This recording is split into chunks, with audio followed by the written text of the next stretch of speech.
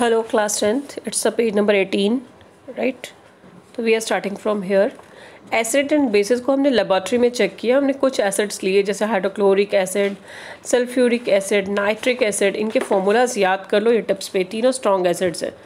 Hydrochloric acid का H C L sulphuric acid का H two S O four nitric acid का H N O three and acetic acid का C H three C O O H sodium hydroxide अब जितने भी hydroxide होते हैं, ये सब बेसिक नेचर में है।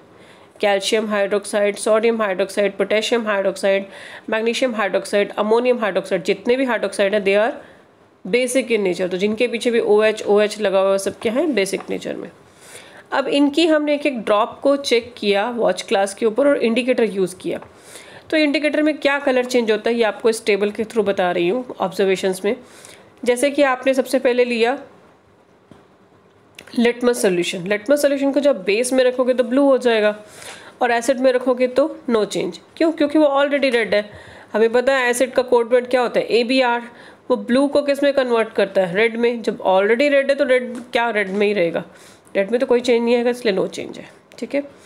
अब लिया ब्लू लिटमस सोल्यूशन जब ब्लू लिटमस सोल्यूशन लोगे तो क्या होगा? बेसिस में होगा तो नो चेंज और एसिड में होगा तो ब्लू टू रेड क्योंकि आपको पता है A B R code word है तो एसिड जो है ब्लू को रेड में कन्वर्ट कर देता है। अब बात करते हैं फिनॉप्थलीन की।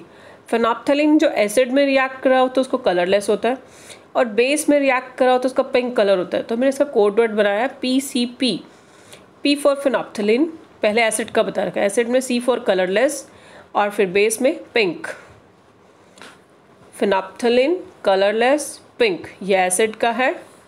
ये वाला जो है ये एसिड है और ये वाला बेस है। ठीक है? पीसीपी नेक्स्ट है मिथाइल ऑरेंज मिथाइल ऑरेंज का क्या होता है? Methyl orange M R Y M R Y क्या है? मिथाइल ऑरेंज रेड कहाँ होगा? एसिड अगर डालोगे इस पर तो रेड कलर आएगा और अगर बेस डालोगे तो इसका येलो कलर में चेंज हो जाएगा। ये इसके कलर्स आपको लर्न करने हैं। तो इनके कोड वर्ड से ही लर्न कर लोगे तो बेस्ट रहेगा। Right right? उसके बाद है, ये इंडिकेटर्स हमें बताते हैं कि सब्सटेंस एसिडिक है या बेसिक है। कलर के अकॉर्डिंग आप चेक कर लोगे कि वो एसिड है या बेस है। अब एक और चीज़ है ऑल फैक्ट्री इंडिकेटर्स क्या होते हैं? ये इस बार बोर्ड्स में भी आया था क्वेश्चन ऑल फैक्ट्री इंडिकेटर्स वो होते हैं जो अपनी स्मेल चेंज कर लेते हैं। यानी वो एसिड में अलग स्मेल देंगे और बेस में अलग स्मेल देंगे। There are some substances whose odour change in acidic और बेसिक मीडिया ठीक है? एसिडिक मीडिया में अलग स्मेल ऑर्डर मीन स्मेल और बेसिक मीडिया में अलग स्मेल होगी तो उनको अल्फेक्ट्री इंडिकेटर्स बोलते हैं। एक्टिविटी टू पॉइंट टू कुछ हमने फाइनली चॉप्ड अनियंस लिए, ठीक है? उनके साथ हमने कुछ स्ट्रिप्स रख दी क्लोथ की। फिर उसको हमने बैग को ओवरनाइट छोड़ दिया ऐसे ही। अब उन अनियंस की स्मेल उन क्लॉथ स्ट्रिप पे आ जाएँगी। आपको पता है, अगर कपड़े के साथ प्याज रखोगे तो प्याज की स्मेल जो है, वो किस पे आ जाएगी? कपड़े पे। फिर उन क्लोथ स्ट्रिप्स के आप स्मेल चेक करोगे तो सब में अनियन की स्मेल आ रही होगी। अब दो स्ट्रिप्स लो, एक पे आप एसिड डाल दो, कोई भी एसिड डाल दो, जैसे एच डाल दिया, और एक पे बेस डाल दो एन डाल दिया। तो आप क्या ऑब्ज़र्व करोगे कि दोनों की स्मेल अलग होगी। जो एसिड वाला होगा, उसमें तो वही अनियन की स्मेल आएगी, लेकिन अगर वो बेस वाला होगा तो उसकी स्मेल ख़त्म हो जाएगी, कोई स्मेल ही नहीं आएगी। देखो अनियन लिया, उसमें एसिड डाला तो रिटेन स्मेल अपनी वही स्मेल रखेगा अनियन की, और बेस अगर डाला तो वो अपनी स्मेल को लूज़ कर लेगा, ठीक है? इसके अलावा वनीला एसेंस भी होता है। वनीला एसेंस जो वनीला की आइसक्रीम बनाने के लिए या वनीला की कोई भी फ्लेवर्ड चीज़ें बनाने के लिए केक में यूज़ होता है। ये एक लिक्विड होता है। जब इसको यूज़ करोगे, सेम वही होगा। एसिड में अपनी स्मेल को रिटेन करके रखेगा और बेस में इसकी स्मेल ख़त्म हो जाएगी।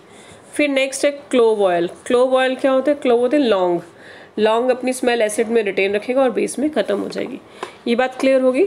तो उसने बोला which of these vanilla onion clove can be used as olfactory indicator तीनों यूज़ हो सकते हैं। और इनकी ऑब्जर्वेशंस क्या हैं? स्मेल कैसे अपनी चेंज करते हैं? ये आपको साइड पे बॉक्स में मैंने बता रखा है। तो ये बहुत इंपॉर्टेंट क्वेश्चन है। वाटर ऑल फैक्ट्री इंडिकेटर्स और उसके बाद एग्ज़ाम्पल दो या फिर उनकी स्मेल चेक करने के लिए टेबल आपको लर्न करना पड़ेगा राइट